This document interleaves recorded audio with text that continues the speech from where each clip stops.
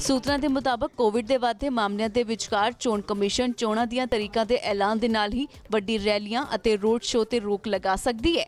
ਸੂਤਰਾਂ ਨੇ ਦੱਸਿਆ ਕਿ ਕੇਂਦਰੀ ਚੋਣ ਕਮਿਸ਼ਨ ਦੀ ਬੈਠਕ ਵਿੱਚ ਇਸ ਮੁੱਦੇ ਤੇ ਚਰਚਾ ਹੋਈ ਹੈ। ਪੰਜ ਸੂਬਿਆਂ ਵਿੱਚ ਹੋਣ ਵਾਲੀਆਂ ਵਿਧਾਨ ਸਭਾ ਚੋਣਾਂ ਨੂੰ ਲੈ ਕੇ ਚੋਣ ਕਮਿਸ਼ਨ ਨੇ ਮੰਗਲਵਾਰ ਨੂੰ ਵੀ ਇਸ ਮੁੱਦੇ ਤੇ ਬੈਠਕ ਕੀਤੀ ਸੀ।